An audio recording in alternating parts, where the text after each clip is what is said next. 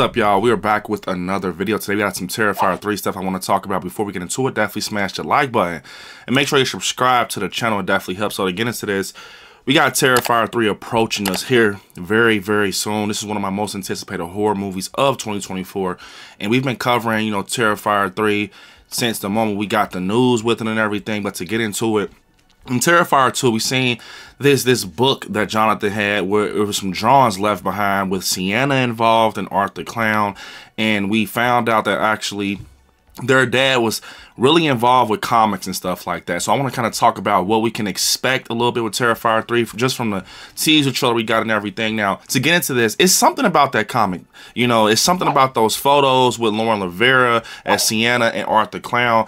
I think it's some connection with the father and Art the Clown being that we found out that actually the dad was, you know, unalive due to a tumor and things like that, a tumor. But when you sit here and think about it, Art the Clown is very powerful, man. At this point, he is a, a worker for Satan. He's a worker for Satan. He's being revived left and right, even from the first one. We all saw how he went out in the first one.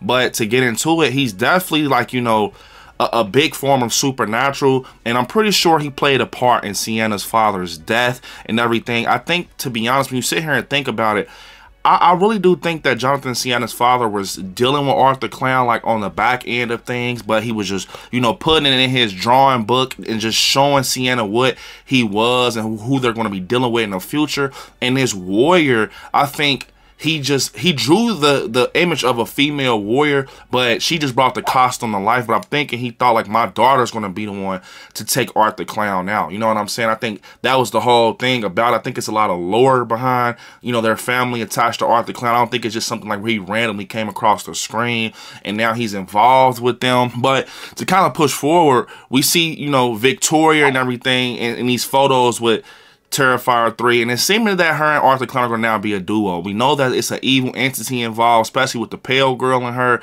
It seems to be no Pale Girl, but I definitely think that she's going to be the new Pale Girl, but she might be a little closer to Art the Clown than the Pale Girl. You know, Pale Girl had a little bit of cameos and stuff like that. But to get into this, I've heard all types of theories out there where people think that Sienna's not going to make it. She's going to be unalive and stuff like that. But to be honest, Art the Clown is one slasher I do not know how to take him out. It seems that he's like, he's infinite. You, you can't take him out because he just keeps on coming.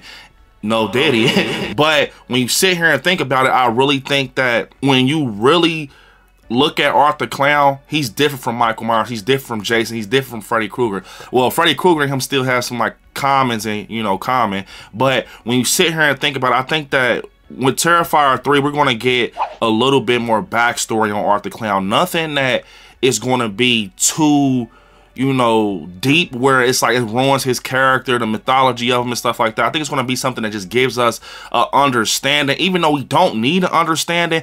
Like maybe, maybe I'm wording wrong. Maybe it's just going to be something where we just find out a little bit of the connection with Art the Clown and Sienna's family in the past and stuff like that.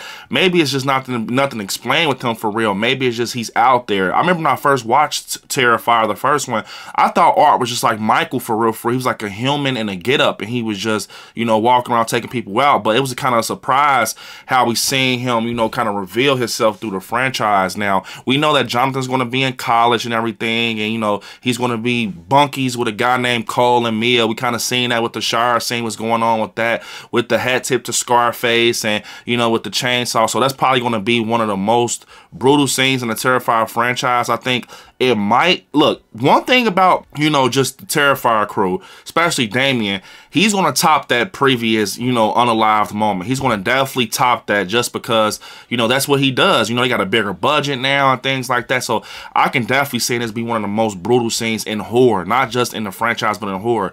To the point we see the after results of this motherfucker just real life just making an angel in their remains, bro. So that's very crazy. But I think that this ending is going to be very you know, legendary, if that makes sense. I think this is going to really kind of explain things and kind of give us an understanding of Art the Clown without saying it. I don't know if he's going to, you know, continue to keep on pushing or it's going to just be a cemented ending. I, you know, I think, I want to say they brought up some stuff with Terrifier 4. I think, I think they said he just had ideas of it, but nothing's confirmed with that. Just speculation because I don't, I can't remember too much. But I'm going to say this. I really do think this one we're going to get a lot of, you know, details when it comes to Art the Clown. I, I, feel like in the previous ones, he just dropped out the sky for real, for real.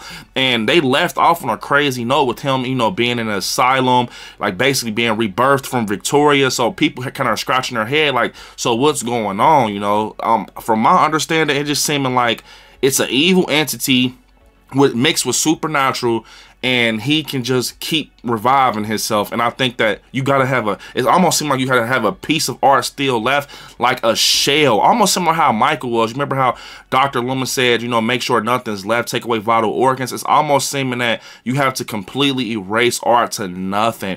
But you know what's crazy? Well, Michael, I kind of feel like real life, like that's cemented. He's not coming back. But even I feel like if you do something like that with Art the Clown, you still have a chance that this motherfucker might turn around the corner and you know hit a smile smile on your ass just because he's just that type of slasher, bro. And, and pushing forward, we do know this is a Christmas slasher and things like that. We see that at a point Art the Clown gets this Santa costume. You know, you know that um Daniel Roebuck is playing Santa, but I think it's gonna be basically a, a twist. I think it's gonna be two Santas and Daniel Roebuck or it's another guy came from I can't remember his name, but he's on IMDb. Unless they just decided to go with Daniel Roebuck over him, I don't know. But it might be two Santas, but who knows? We've seen that Jason Patric is, Patrick is in it. I'm still putting my money down that Sienna and Jonathan's father.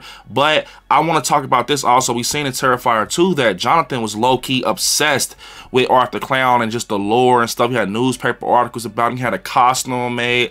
Um, it could go either left or right with Jonathan. I want to know if is it is it going to be like where he's even more obsessed after he's dealt with him, or is he going to let him let him go completely and just know that he's their boogeyman or whatever. But I feel like when you sit here and think about it, it might go the way where Jonathan gets even more obsessed with Art the Clown just because he had dealt with him hands on and he's kind of curious about what happened to the other people before him, like especially the events in Terrifier 1. Now he's a part of the events and, and things like that. So maybe that's what we get. Like Jonathan ends up digging deep on Art the Clown and we find out something, if that makes sense, something, some type of, you know, back story with what happened with the events. It connects to something, knowing what they're dealing with. I think that's the whole thing. People just want to know what they're dealing with. But like I said, you don't have to touch on it because Art the Clown is just that type of slasher.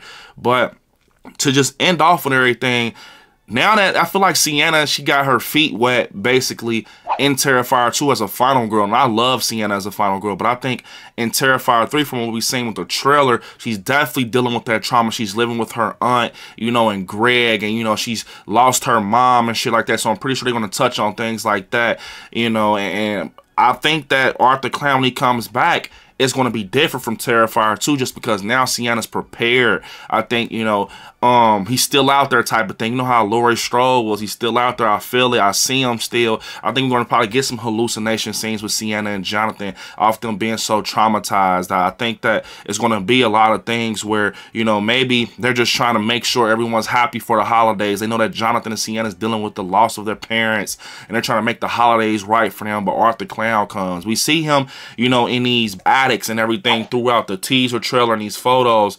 Almost like, is that the, is he living in the, you know, attic of Sienna's new home with Jonathan? He's kind of just living up there. Or is this like a home that, you know, Art the Clown is connected to? Is this Sienna's childhood home? It can be a lot of things. It could be multiple things, but it's something about that attic with the web and everything behind Art the Clown. I definitely think we want to. We're not going to just keep seeing Art by himself. I definitely see him being next to Victoria a lot through this because Damien already said she's going to be damn her own villain in this, and um, I'm not gonna lie, it's gonna be very dangerous seeing them next to each other because it's not just one, but it's two, and they're both supernatural. So uh, that's gonna be very crazy. And I can't wait to see how Terrifier 3 ends, man. I think this could potentially be one of the best out of the franchise and everything.